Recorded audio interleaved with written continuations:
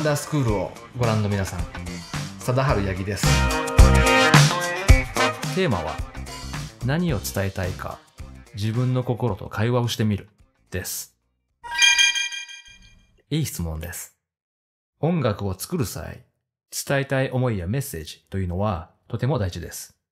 えー皆さんはどんな気持ちをテーマに音楽を作っていくのか決まったでしょうか？その心の中の思いを具体的に言葉にしてみましょう。一つの思いでも、その心がドキドキしているのか、ワクワクしているのか、ゾクゾクしているのか、表現される言葉によって目に見えてくる光景、えーみんなが頭の中で想像する光景が変わってきます。今回は伝えたい思いを曲にする上で、えーどのようなメッセージを込めるのか、みんなと一緒に考えていきたいと思います。例えば僕は、環境問題の音楽を作った時にですね、その楽曲のテーマとして希望を選びました。希望を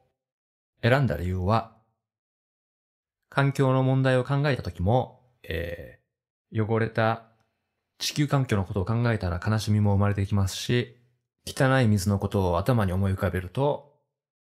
怒りだって湧いてきますよね。ただそういった現在起きているもの、起きてしまったものに焦点を当てるのではなくて、今後どういう未来があったらワクワクするかなという方に焦点を当てたので、テーマを希望とすることにしました。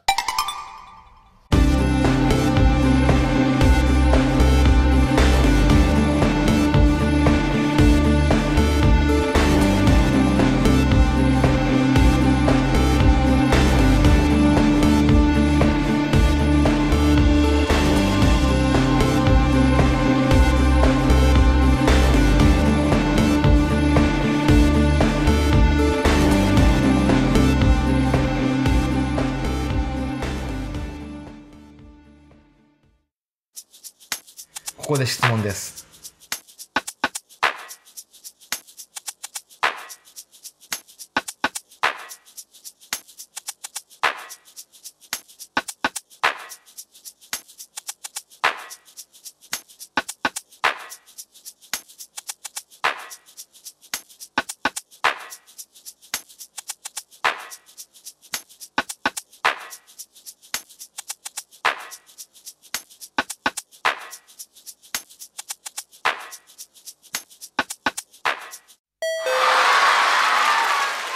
えー実際に音楽の音色を考える前に、音楽の音を考える前に、実はたくさんのステップがあって、